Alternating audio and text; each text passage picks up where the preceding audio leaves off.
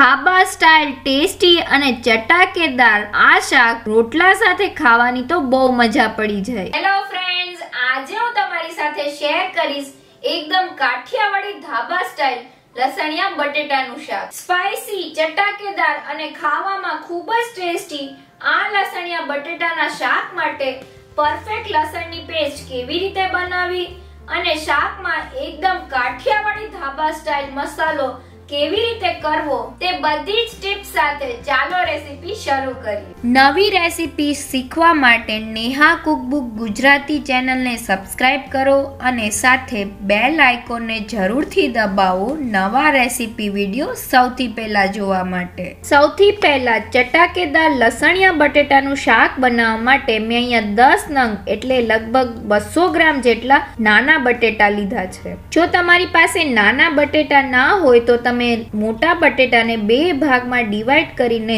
શાક માટે લઈ શકો છો. હવે બટેટાને બાફવા માટે કુકરમાં અહીંયા મેં બે કપ જેટલું પાણી રાખેલું છે. તેમાં બટેટાને એડ કરી દઈએ. હવે અડધી ચમચી જેટલું મીઠું એડ કરી તેને બટેટા સાથે મિક્સ કરી લઈએ. બટેટાને બાફતી વખતે મીઠું એડ કરવાથી તેનો સ્વાદ વધી જાય છે. હવે કુકરનું ઢાંકણ બંધ કરી મીડિયમ ગેસની ફ્લેમ પર ત્રણથી ચાર વિસલ કરી લઈએ.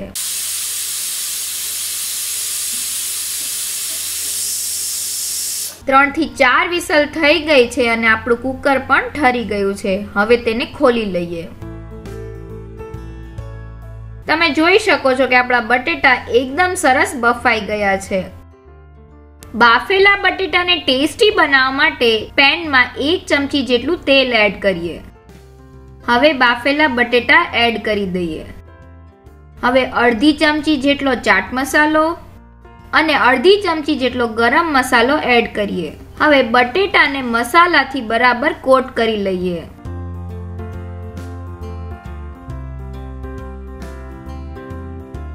મસાલાથી કોટ થયેલા એકદમ ટેસ્ટી બટેટાને એક બાઉલમાં કાઢી લઈએ. શાકમાં એડ થતી સ્પાઇસી લસણ ટમેટાની પેસ્ટ બનાવવા માટે મેં અહીંયા ત્રણ સૂકા લાલ મરચાં લીધા છે. તેને ગરમ પાણીમાં ત્રીસ મિનિટ માટે પલાળી દઈએ. સૂકા લાલ મરચાંને પાણીમાં પલાળવાથી તેની તીખાશ ઓછી થઈ જાય છે. ત્રીસ મિનિટ થઈ ગઈ છે અને તમે જોઈ શકો છો કે આપણા મરચાં ખૂબ જ સરસ રીતે પલળી ગયા છે. હવે લસણ ટમેટાની પેસ્ટ બનાવવા માટે મેં મિક્સર જારમાં બારથી પંદર નંગ લસણની કળી, એક ઇંચ આદુનો ટુકડો, પલાળેલા સૂકા લાલ મરચા, એક મીડિયમ સાઇઝના ટમેટાના મેં નાના પીસ કરી લીધા છે, તેને એડ કરી દઈએ. હવે મસાલામાં બે ચમચી ધાણા જીરું પાવડર એક ચમચી જીરું. તમે જીરુંની જગ્યાએ શેકેલા જીરાનો પાવડર પણ એડ કરી શકો છો. એક ચોથાઈ ચમચી હળદર પાવડર અને સ્વાદ પ્રમાણે મીઠું એડ કરી દઈએ. અહીંયા આપણે લસણ, ટમેટાની પેસ્ટ ગ્રાઇન્ડ કરવા માટે જરા પણ પાણીનો ઉપયોગ નથી કરવાનો. હવે બધી જ વસ્તુને ગ્રાઇન્ડ કરી લઈએ. આપણા શાક માટે એકદમ સ્વાદિષ્ટ લસણ, ટમેટાની પેસ્ટ તૈયાર થઈ ગઈ છે. હવે શાક બનાવવા માટે પેનમાં ચાર ચમચી જેટલું તેલ એડ કરી દઈએ. લસણિયા બટેટાના શાકમાં તેલનું પ્રમાણ વધારે હોય છે. પણ જો તમને તેલ ના ભાવતું હોય તો તમે તેને ઓછું પણ કરી શકો છો. આપણું તેલ ગરમ થાય એટલે એક મીડિયમ સાઇઝની ડુંગળીના મેં આ રીતે ઝીણા પીસ કરી લીધા છે, તેને એડ કરી દઈએ. અને ડુંગળીને તેલમાં સારી રીતે સોતે કરી લઈએ.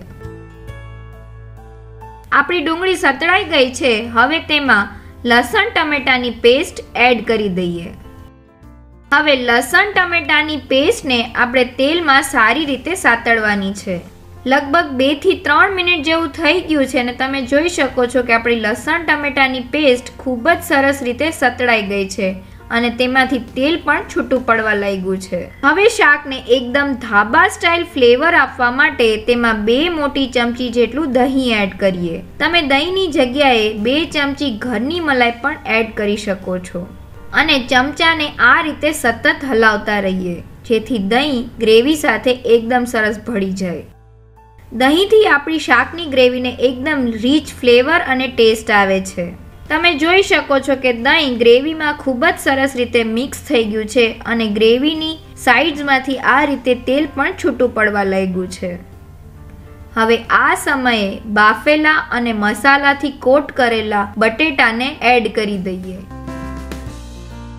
અને તેને ગ્રેવી સાથે મિક્સ કરી લઈએ.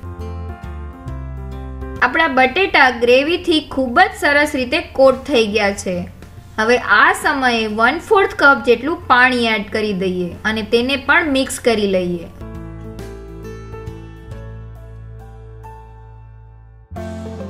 હવે ઢાંકણ ઢાંકીને ધીમા ગેસની ફ્લેમ પર શાકને ત્રણથી ચાર મિનિટ માટે કૂક કરી લઈએ, જેથી ગ્રેવીની ફ્લેવર બટેટામાં ખૂબ જ સરસ ભળી જાય. ત્રણથી ચાર મિનિટ થઈ ગઈ છે, હવે ઢાંકણ ખોલી લઈએ. વાવ, જોતા જ મોઢામાં પાણી આવી જાય એવું એકદમ ચટાકેદાર બન્યું છે ને આપણું શાક? હવે શાકને કોથમીના પાન વડે ગાર્નિશ કરી લઈએ અને તેને ગરમા ગરમ સર્વ કરી લઈએ.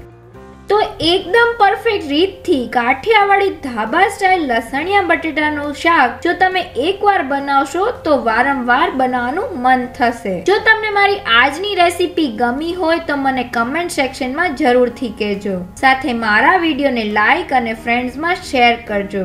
અને મારી ચેનલને સબસ્ક્રાઇબ કરવાનું ના ભૂલશો. તો ફરી મળીએ એક નવી રેસીપી સાથે.